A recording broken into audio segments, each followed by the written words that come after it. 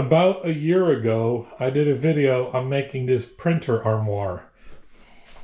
I'm still working out plans for a Lazy Susan for the actual printer that's inside, but this has been a beautiful sight in my office.